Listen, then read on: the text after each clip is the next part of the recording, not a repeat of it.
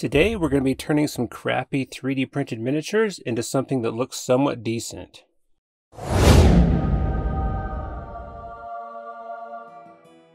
How are you today? Art Jeremiah here, and I'm back with another dungeon building video. Today we're actually going to be painting some miniatures for our dungeon build. These are some slightly harder opponents for later in the dungeon. They're 3D printed, they got a bunch of lines, I bought them on eBay. I do like the sculpts, especially this guy right here. I don't know how good you can see it. But I don't like the lines that they had. I'm sure it's a filament printer and I know resin printers do better. Anyway, these are the miniatures I bought and I bought these off eBay. I'll try to find them again on eBay. I bought them a while ago, so I'll look for them again and try to link them down in the description so you guys can pick them up. They're pretty cheap for what you get. Um, I think there's also places you can download these if you have a 3D printer and you can print them out. So yeah, I blue tack all these miniatures down to some shot cups that I got at the dollar store. Oh yeah, and take it out my nice airbrush. Love this airbrush. Pretty cheap setup actually, so and once you get it down, once you get airbrushing down, it's fun. It really is. When I first did it, I sucked not gonna lie. It didn't help that I was just trying to do it with like an air tank instead of a compressor. I should have never listened to people on the internet. Don't look at random forums that they have no idea what they're talking about. So yeah, I'm first just priming these with watered down black paint. I water everything down and I put flow improver, Vallejo flow improver few drops and everything. A little bit of alcohol, a little bit of flow improver, at least half water and half paint. And the paint I'm using is already airbrush paint, so I just prime them all black. I have I have these little dropper bottles that I've pre-mixed everything in. So this is golden white. Now that's golden fluid acrylics white, and I watered it down that same recipe like I said. Yeah, I just spray from one angle. I don't go around the whole miniature.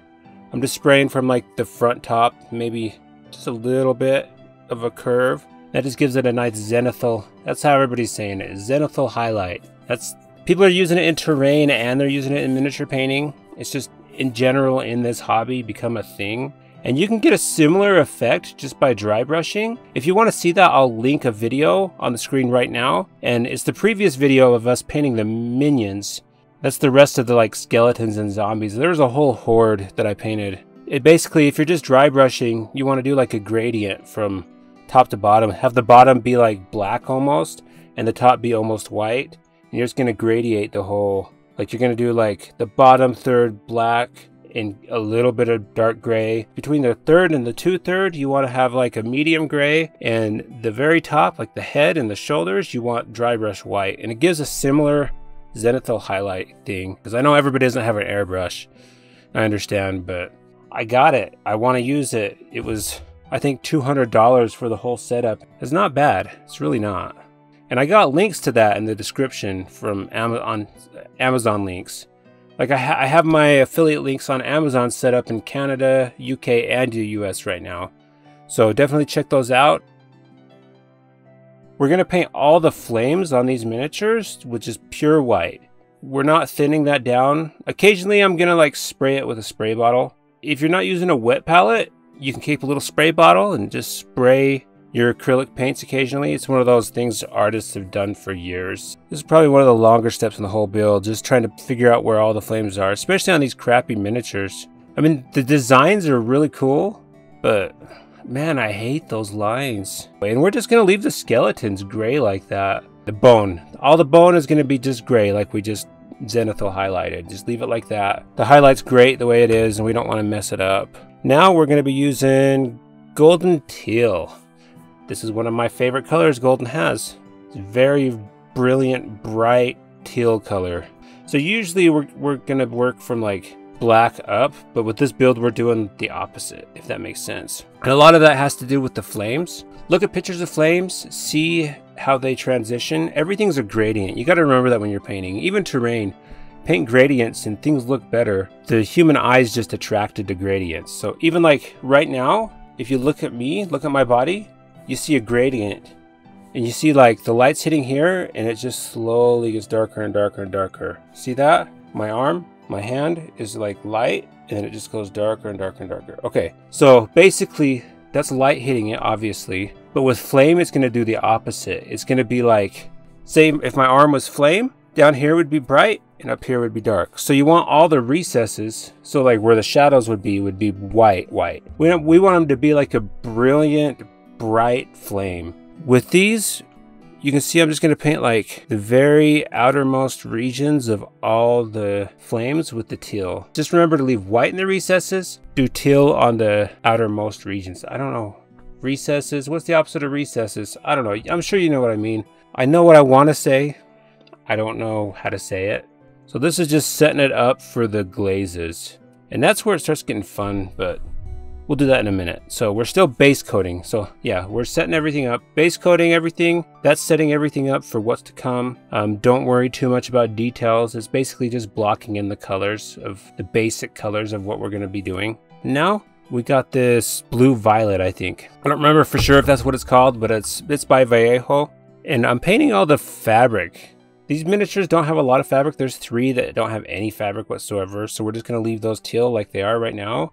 There's two miniatures that are kind of like wizards or liches or sorcerers or undead sorcerers, something like that. And we're just gonna paint all the robes with a thin coat. I water it down. Like I said, I'm using a spray bottle on this. I just want it watered down so it gets into the recesses pretty easy. Check out this shirt. I designed it. You can pick them up on my website if you want one. It's fulfilled by Printful, so you don't have to worry about me being slow about getting it out. If it's slow, it's on them, not me. Okay, now we're gonna do some metallics. And I forgot that I was gonna lay down some black paint on the metallics first. I mean, I was gonna lay down some black paint where I was gonna paint the metallics first. Forgot about that, so I had to improvise a little after painting it. If I would have went back and done it again, I would have painted all the places that I was gonna have metallic black first, and then painted over it with these metallics. And the metallic, I'm using two colors of metallics. Vallejo Oily Steel and Bronze. I'm basically just, I'm not like cleaning out the brush between using both of them. I want it to kind of mix together and kind of have like an easy to do tarnish look without having to use some sort of special effects or anything like that. I basically just dip it in the bronze, paint it on, and when that starts going away, I dip it in the oily steel and paint it on. And it makes a nice little mottled look and it's kind of wet blended together. Not too specific with the metallics. I just try to make sure not to get it on the rest of the stuff because I don't want to have to paint over it. But if you do paint over it, feel free to just touch it up with the other color. Now we're going to be using some Liquitex glazing medium. This makes glazing really easy and a lot of miniature artists don't use this. They just use a wet palette and a little bit of paint. That works. I think it takes a little bit longer and I also think that it's not as good a quality as paint when you do that. It has a tendency to separate. The binding, the binder separates from the pigment. And you are laying it on there, but sometimes when you do that, the pigment will come off when you spray varnish it later on and it won't be as vibrant. And I really like, I really like, oh, we're overheating. If you've been getting some value out of this channel, then consider joining us over on Patreon for as little as $1 a month, and you'll gain access to perks such as extra footage of videos like this one and other videos that I've done in the past. And I want to give a huge shout out to Charles Stoll, who recently joined the League of Alchemists and is the latest patron on my Patreon page. Thanks so much. Okay, and we're back. Let's get back to watching this video. So the glazing medium, I'm using Liquitex glazing medium. I'll try to link that in the in the description too. So right now, we mix that glazing medium in with some white paint. Glazing with white is not always ideal. I definitely wouldn't recommend it with miniature paint. I would recommend it with artist quality paint. And I know a lot of people don't paint miniatures with that kind of paint. Even the heavy body acrylics, great for glazing. So yeah, we we are mixing the glazing medium in with this good brush. Again, like I said last video, trying to break myself of this habit, do not mix this paint with your brush. It gets up into the ferrule and it will splay your brush hairs. Not good for your brush. Don't do that. See, there's that's better. That's better.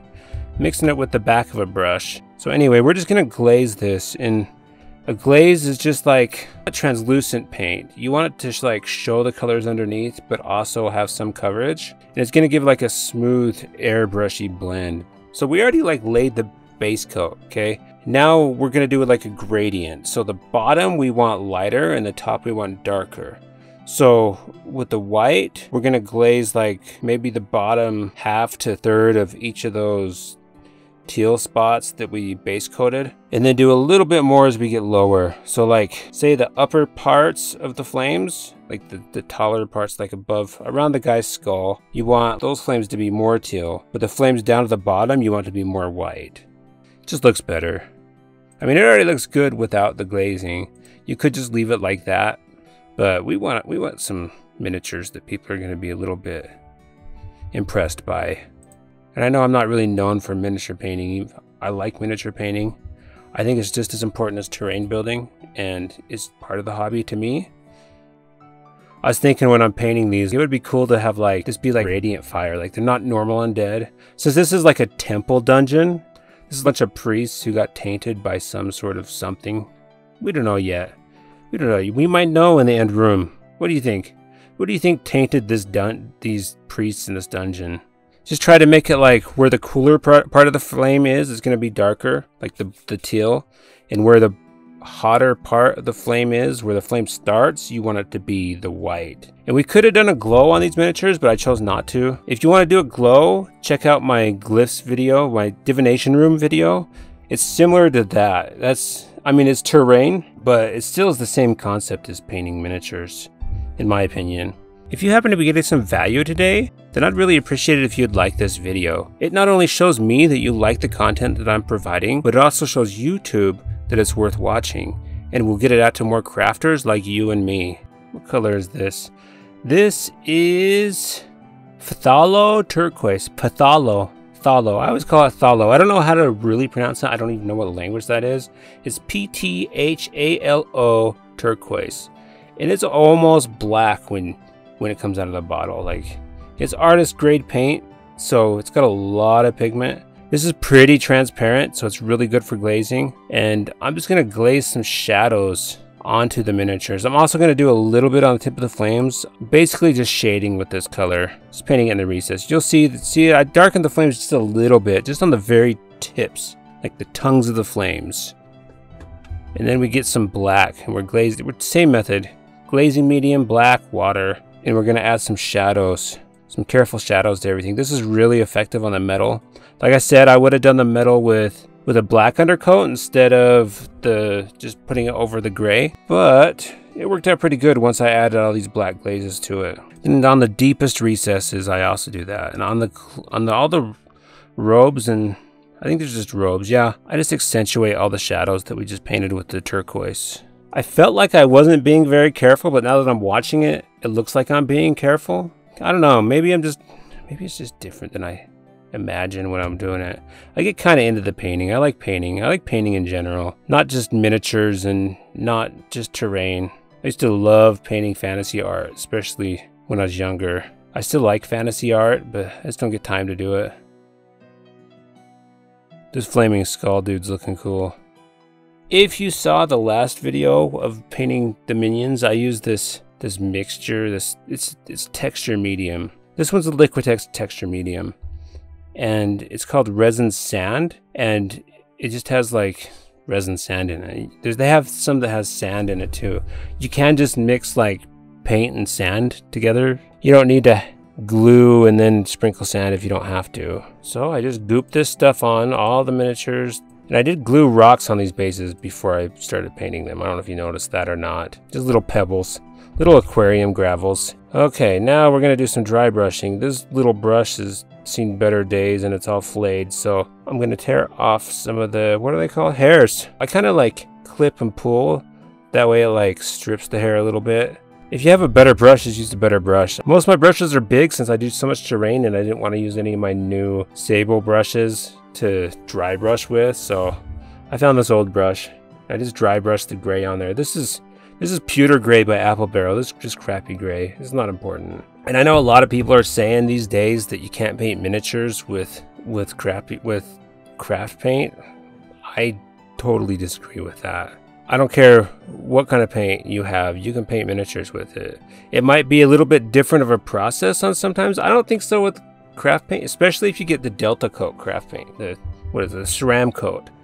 That stuff's really good for painting miniatures. You get more for your buck too. I like Golden, they're expensive, and I like Vallejo. They're a little bit expensive. Now that I have, I got hooked up with a distributor, so I don't know if anybody would be interested in getting discounted hobby supplies, but it's definitely a possibility of putting those on my website. So let me know. I might be able to even do like 20 to 25% off depending on what it is.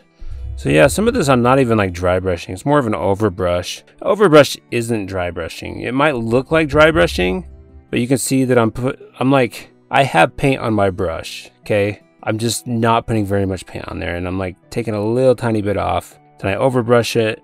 And overbrushing, you're trying not to get in the cracks. So usually when you're painting something, you're gonna like try to cover everything. With overbrushing, just don't worry about getting in the cracks, that's all.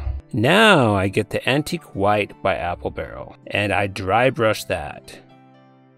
Then I just finish it off, painting black on the base. This is Vallejo black, it's a nice dark black. The other black that I like is Createx.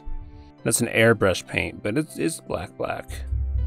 Of course, it's not like those, what is it, those 3.0 blacks and stuff like that. I if you guys have seen those. They're like so black, they soak in everything, and they're just like flat black. These miniatures turned out really cool though. I was, I was happy with them.